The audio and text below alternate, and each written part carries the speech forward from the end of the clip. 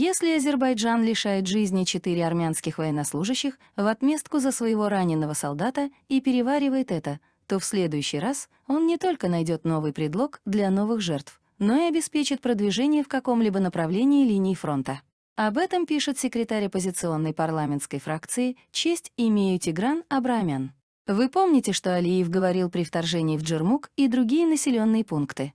Он говорил, что мы вторглись на территорию Армении, чтобы более четко понять, прибегнут ли армяне к реваншу или нет. С молчаливого или скрытого согласия властей Армении азербайджанцы и дальше будут наносить удары и укрепляться на тех участках, где, по их логике, должна проходить дорога или коридор. Они скажут, что мы обеспечиваем безопасный проход для наших мирных жителей. Кстати, это кровавое нападение для Азербайджана является также тестом на реакцию властей Армении.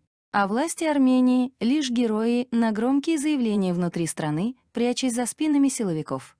От сложившейся ситуации зависит и то, какую тактику выберет Азербайджан для своих будущих действий. Вчера я заметил, что некоторые косвенно намекали на то, что в случае ответа Армении масштабы провокаций могут увеличиться, считая, что ничего не следует делать.